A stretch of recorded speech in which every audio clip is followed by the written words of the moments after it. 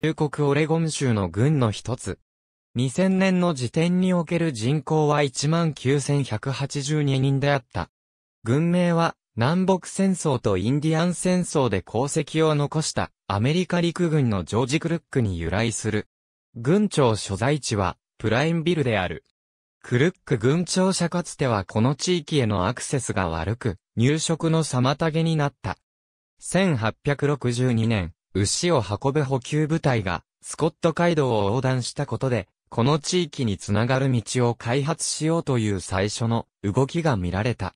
また彼らは非戦住民として初めて、オレゴン中部で冬を過ごした集団でもあった。1860年代に、サンティアム峠が発見、開発されると、この地域へのアクセスは、格段に向上した。1882年10月24日、ワスコ軍の南部から分離する形で、クルック軍が成立し、軍庁所在地として、プラインビルが設立した。1884年の総選挙の際、軍内唯一の市である、プラインビルが、軍庁所在地とすることが正式に投票で承認された。クルック軍の主要産業は、林産、農業、畜産、観光である。農業は、灌漑区域の発達によって支えられており、牧草、穀類、ミント、ジャガイモなどが栽培されている。森林地は放牧される大きな家畜が給仕に重要である。おちょこ国立林のポンデローサマッツの森は木材産業の主要資源となっている。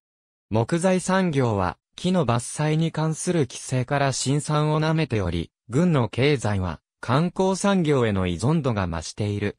毎年数千人が狩猟、鳥魚、ボート遊び、観光、鉱石収集のために、クルック郡の渓流、貯水池、おちょこ山脈などを訪れる。プラインビル商工会議所は、鉱石採集に訪れる人々を鉱区へと案内する役を務めている。クルック郡はオレゴン州の中央部に位置している。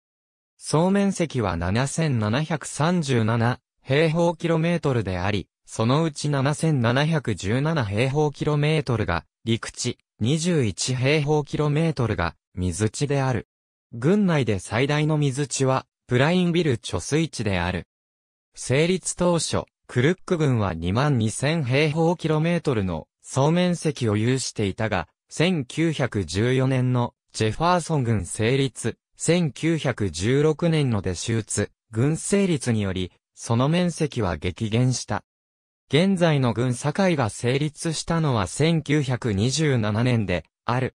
グラント軍との軍境近く、クルック軍の南東端には、オレゴン州で最古の地層がある。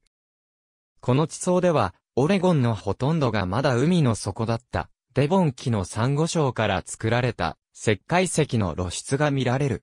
2000年から2007年にかけて、クルック郡の人口増加率は、週平均の3倍に当たる34.9%を記録した。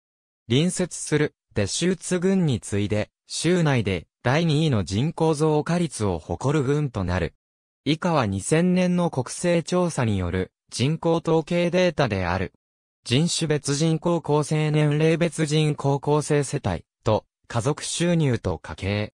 ありがとうございます。